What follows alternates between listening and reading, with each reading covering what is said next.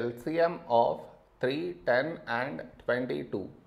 To find this LCM, we should frame it in this way. 3, 10, 22.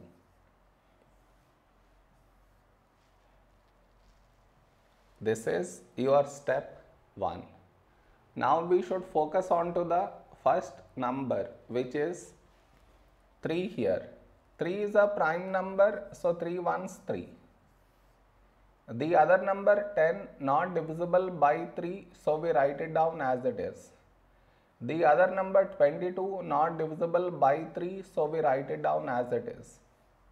Now we got 1 here so focus on to the next number 10.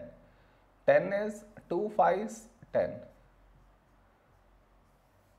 The other number 22 last digit 2 even so this number is divisible by 2. First number 2 when do we get 2 in 2 table 2 ones 2. The other number 2 when do we get 2 in 2 table 2 ones 2. Now here we have 5 5 is a prime number so 5 ones 5. The other number 11 not divisible by 5 so we write it down as it is. Now we got 1 here and here so focus on to the next number 11.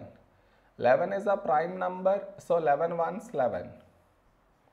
So we got 1 in all the three places. So our LCM is LCM is the product of these numbers that is 3 into 2 into 5 into 11.